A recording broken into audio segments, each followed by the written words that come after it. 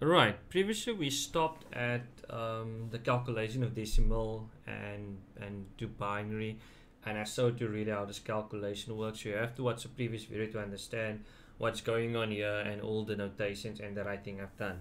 Okay. So today we're going to look at the hexadecimal numbering system, and now the hexadecimal numbering system um, is different than the others, right? And you really understand how it works when I'll explain it to you next. So if you look at this here, um, we use 10 digits and we use 6 letters. That's what you do in the hexadecimal numbering system.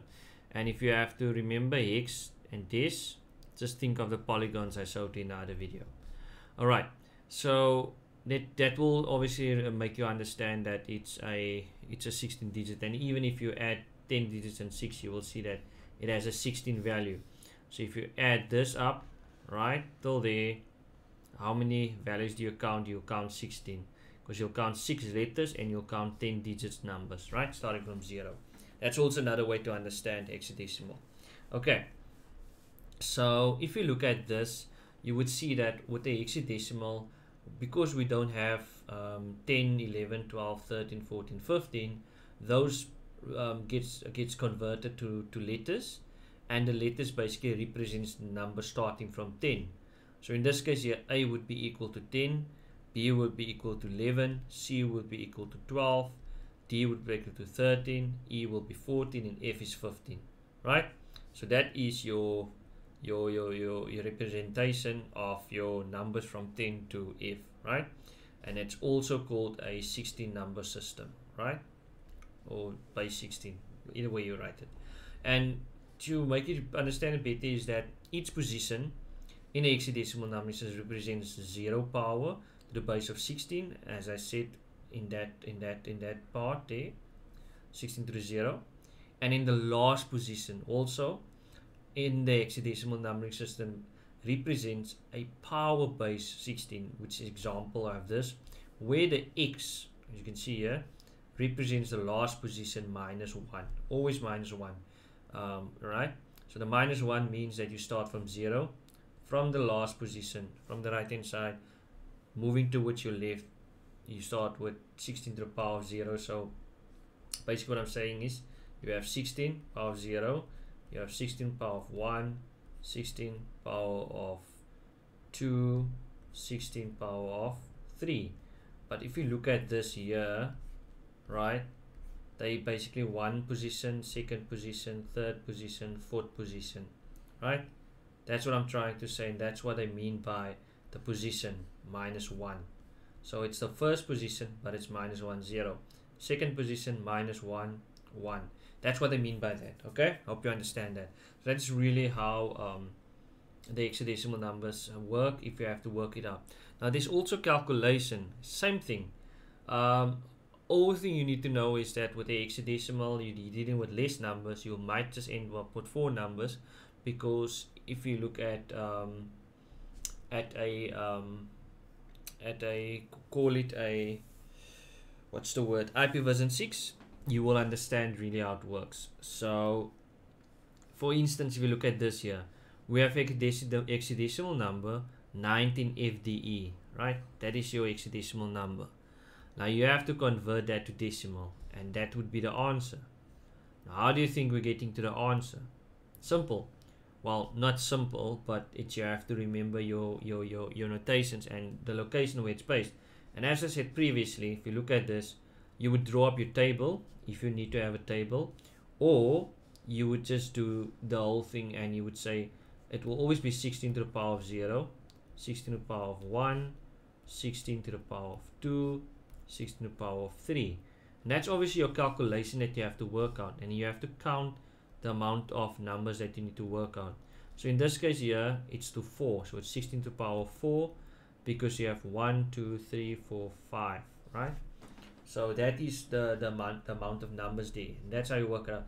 Then if you want to, you can see here in this example here, it's the same as we written there on top. But you must also understand you have to times these with that numbers there. But that numbers gets converted to its binary or to its hexadecimal equivalent of, of decimal, right? So in this case here, you will see that the f is actually 15 right? If you look at the d what is the d again? Remember we said the d a b c d e f right? So if e is 14 then the d is 13 right? And then e would be what would e be? Okay i'm asking questions almost like i'm in a class but let me just show you. So e is 14 right? D is 13 and f is 15 right? Okay so e is 14 right there we have it. So now you know that if you have those numbers already figured out that you then put into your allocation on the next step which would be here where I'm pointing the arrow. So here you work out in this step here that you obviously have to put it in notation where it's supposed to be. So here you can see 1 is still being used there 9 is still being used there F is still being used there D. But this is just showing you how you write it out. Then you have to replace those numbers. So you have to replace use another color. You have to replace your F. You have to replace your D. You have to replace your E. Because those have to become these numbers here you see at the bottom right? And because you have to replace that you have to put in 15 d 13 d and 14 and then you do your normal calculation right? So you would say 1 times 16 remember it's the fourth, so 1 is it's the fifth fifth number in the position. Remember you're looking at the position. 1 times 16 to the power 4 which gives you that number. 9 times 16 to the power of 3 gives you that number 15 times 16 to the power of 2 gives you that number. Now you could also just do the the, the, the work that out separately but you have to remember that you have to times that. And when you times 13 to the power of 16 to the um, 16 of 1 you get an answer. 14 times 16 to the power of 0 you get an answer. Then when you get that answers there you add it all up only after you do the calculation as I'm going through here now then you add all the numbers together as you can see here. And you can see also the notation is it's decimal. Then when you write it out it's obviously that number. You add all that up together then you'll get 10,000 no that's not 10,000 yeah it's 10,000 10,000 10,